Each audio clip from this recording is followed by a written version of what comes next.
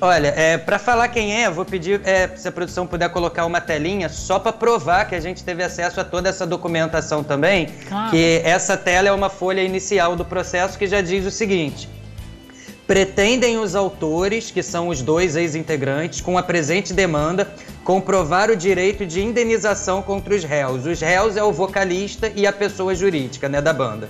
Sim. Haja vista que durante vários anos foram alijados. Alijados significa, né, despistados, sim, foram sim. escondidos, né? Uhum. É, de todos os contratos de shows, gravações de DVDs, CDs, entre outros, da banda Raça Negra. Raça Não Negra. obstante serem os cofundadores da referida banda musical, como mais adiante esclarecido, com evidente prejuízo aos mesmos. Os réus agiram de forma dolosa ou seja, intencional, na medida em que afastaram todos os integrantes da banda Raça Negra no recebimento dos valores contratados junto às gravadoras e shows realizados. Aí embaixo ele cita o Luiz, ele diz o seguinte: hum. apesar de constar nos contratos celebrados junto às gravadoras nomes e os percentuais de cada integrante, pelo menos nos primeiros contratos, que eles dizem que os contratos depois ele já nem entregava para ninguém assinar. Tá. Esses valores jamais foram repassados aos mesmos, sendo desviados, eles usam a palavra desviados, pelo primeiro réu Luiz Carlos da Silva. Esse Meu percentual, Deus. além de constar dos contratos, estava acordado entre os integrantes da banda musical, mas nunca foram respeitados, pois tais valores cabentes aos autores jamais chegaram em suas mãos. Então é isso, né? A banda É o Raça Luiz Carlos Negra. e a banda Raça Negra. Como a banda não existe mais, que e, e, os dois integrantes falam ah lá, que depois cara, que processaram o Luiz Carlos, hum. ele mesmo deixou de pagar os que tributos engraçado. e deixou é, é, de propósito o nome da banda é, ser retirado pela própria Sim, Receita claro, Federal. Você não paga, aí o nome dança. Aí não tem né? nada o que responder, né? Mas uhum. aí foram em cima da pessoa jurídica. Bom, Hum. Tenho aqui a, a resposta. Tá bom, se vocês quiserem, posso ler, do Luiz Carlos. Claro. Sobre é, esse caso específico. É do Luiz Carlos, né? É a resposta a pessoal tá, do Luiz é Carlos, dele. isso. Foi, foi me encaminhado pela Crespo, que também é assessora de imprensa do Luiz Carlos. Tá. É, ela encaminhou o seguinte: sobre a ação judicial com os ex-músicos.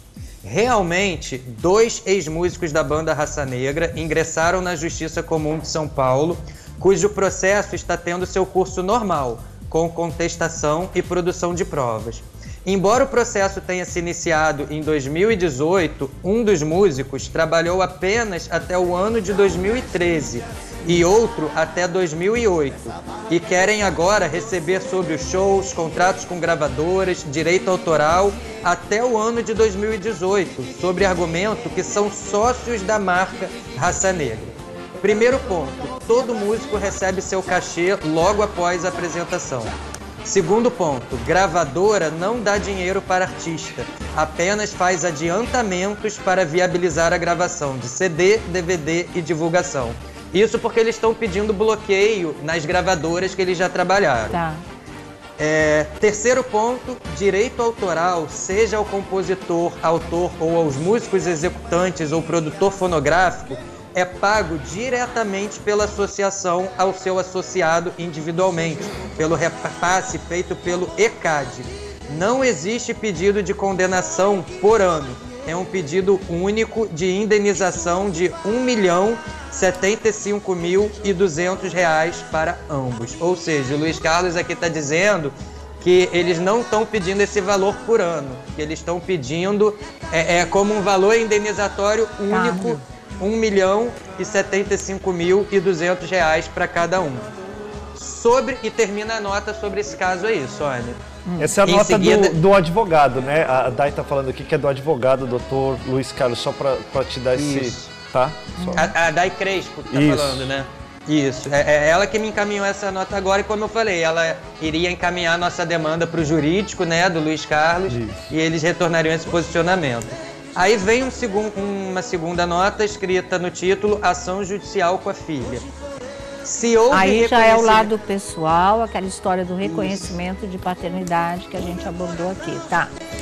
Isso, é matéria exclusiva do Bruno Tálamo. Sim. É, ela diz o seguinte: se houve reconhecimento judicial de paternidade em desfavor do senhor Luiz Carlos, com certeza isso se deu à revelia Revelia é quando a pessoa não comparece, né? Ah. Ali o juiz julga sem a presença da pessoa. Pois nunca foi intimado pelo Poder Judiciário a responder por qualquer ação de paternidade. Para tal situação, o seu departamento jurídico já foi acionado para conhecimento e providências.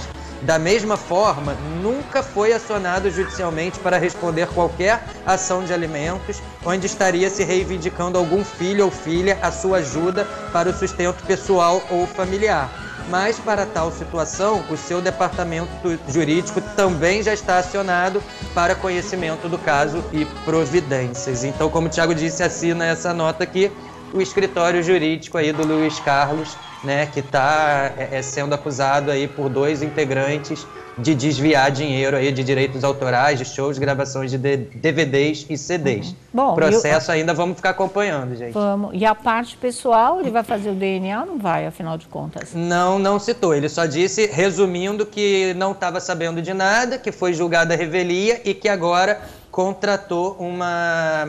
Agora uhum. o seu uhum. escritório jurídico já está tendo conhecimento do caso e vai tomar todas as medidas cabíveis. É. Vou perguntar aqui para ela se dentro dessas medidas está hum o exame de paternidade, se ele vai fazer, pois né? Pois é, porque ele mesmo, foi declaração dele que ele faria. Ele não fez antes porque não sabia, né? É uma coisa que não colou, porque ele foi chamado várias vezes e não compareceu. Mas agora está sabendo. E, e, é, e, e o juiz reconheceu. Que soube, ele disse, é do meu próprio interesse fazer esse exame de DNA para esclarecer essa situação de uma vez. E agora dessa nota não consta esse tipo de coisa. Então vai ver que já voltou atrás. Agora... Fica aqui na minha Quem está no Silvio Santos? Ah, eles, olha lá, no Silvio Santos. E a filhinha? No programa do Silvio.